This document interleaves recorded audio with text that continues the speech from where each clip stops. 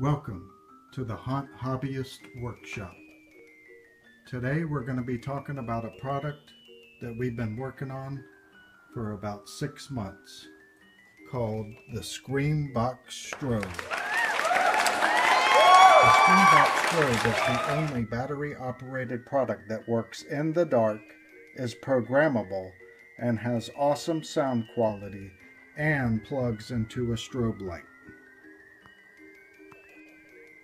The strobe light comes in either red or green color. Here it is working in a well-lit room.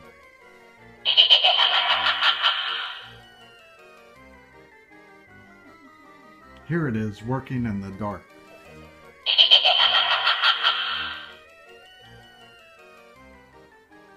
Here's the red LED.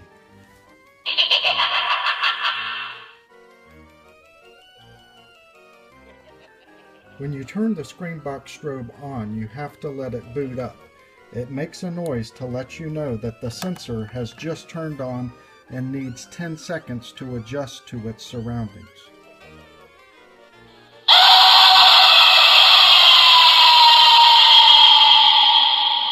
So now it needs 10 more seconds before it's ready.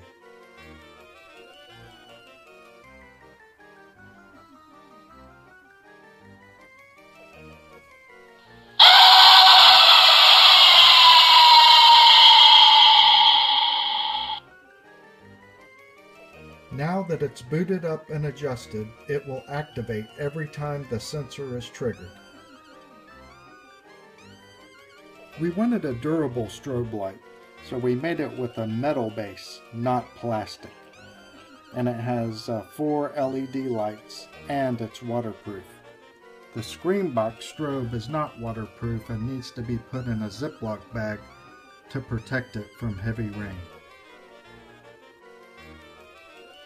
If you want to have the Screambox strobe focus on a small area, use a blinder and tape it around the sensor. You can use cardboard or a half inch PVC pipe, like that. The Screambox strobe does not work with an amplifier, it only works with our strobe light.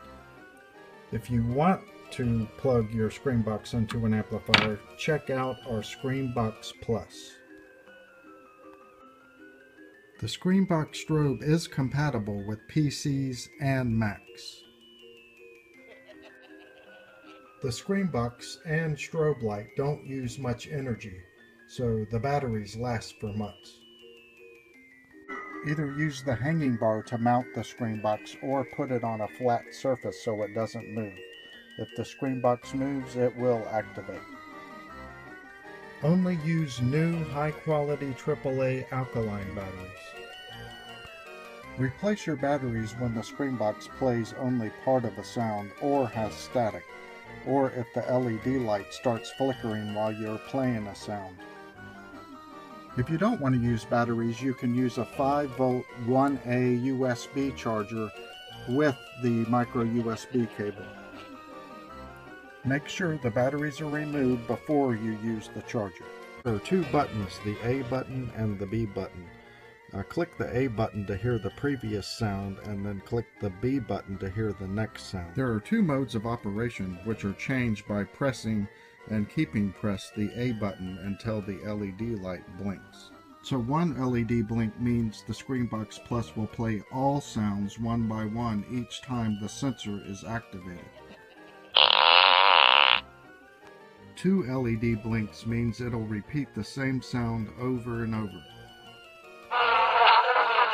You can program your own MP3 sounds on the Screambox Plus by plugging in the micro USB here and plug the other end into your PC.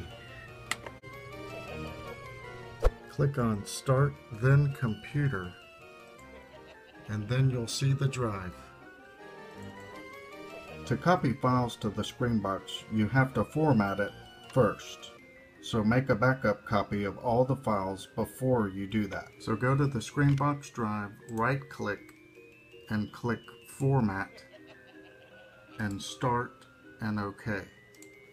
Now that we are finished formatting, we need to make a list of all the files that you want to put on the Screambox. Once you have your list complete, go over to Organize and select all and then drag them over to the Screambox drive and drop them in. Now you're finished. Okay, that's it. Thanks for watching.